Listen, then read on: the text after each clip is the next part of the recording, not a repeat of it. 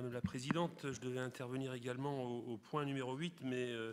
le sujet étant d'actualité, permettez-moi de profiter de cette délibération pour revenir sur notre schéma de développement des transports, puisqu'effectivement le président de la République a informé son gouvernement et sa majorité relative par voie de presse de son projet de doter les dix métropoles françaises de RER métropolitains. C'était une belle idée pour développer nos transports publics, réduire les émissions de CO2, augmenter les fréquences pour les usagers, raccourcir les temps de trajet sur la métropole, mais voilà, le coût de communication est parti, il faut nous en dire un peu plus.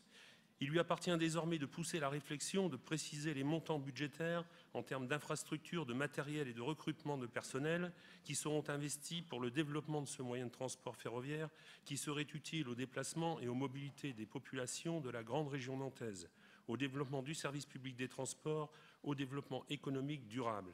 La création de ce RER e métropolitain doit être l'objet d'une grande concertation entre l'État, la métropole, la région, les communes concernées comme l'ensemble des acteurs concernés pour savoir qui sera autorité organisatrice et dans quelles conditions.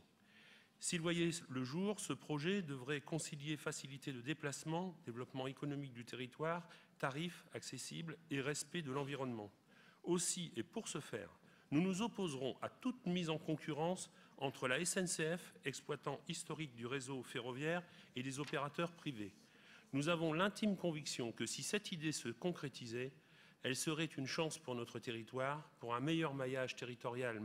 multimodal de transport qui mettrait en réseau les futures liaisons RER e et nos transports en commun de tramway, bus et busway pour une étoile ferroviaire performante pour construire la région nantaise de demain où les distances entre les lieux de vie et les lieux de travail, d'études et d'activités autres seraient plus courtes.